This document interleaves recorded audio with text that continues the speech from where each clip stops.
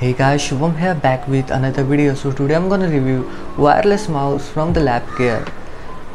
So if you don't know, Lapcare is an Indian brand which make computer accessories and this is very cheap wireless mouse it only costs 450 rupees and on top of that you will get 3 years warranty i don't know how reliable is their warranty is so anyways so let's check out the quick spec and as you can see the frequency of this mouse is 2.4 gigahertz. Also the maximized effective distance is 10 meter which is okay also.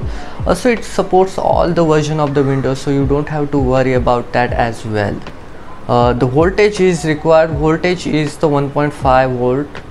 And also you only need one AA battery for this mouse to run uh, the USB port is obviously 2.0 uh, you will get different color option like black black and blue white and blue and the white and gray. I usually prefer the black color because it won't get much dirtier. If you get any issues you will get 24 hours service. It's claimed by the company. Again I'm not sponsored by this brand at all. So yeah let's check it out and let's see how good this mouse is. So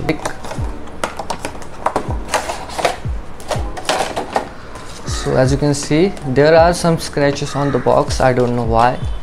Also please subscribe to this channel if you love watching content like this. And also i will put link to buy this mouse in the description. So just in case if you guys want to check it out. So you will get double a battery with this mouse. So you don't have to separately buy it from the store. So in the box you will get four accessories. Uh, you will get double battery oops. Also you will get the connector mouse itself and the quick guide. And as you can see I'm not gonna read any of that. So let me check the grip first. And it has decent grip. I mean it's really small for my hands. As you can see I do have pretty big hands so. And also it feels really lightweight compared to other mouse I'm using let me put the cell inside this and let me connect to my PC so as you can see it's working really fine. Uh,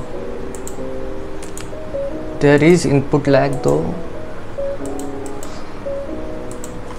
So let me use it on the clean surface. Obviously you need mouse pad to uh, run this mouse smoothly. Though it works really well on the clean surface like this as you can see so yeah do i recommend this mouse? Yes absolutely. Uh, if you want to buy this please check out link in the description.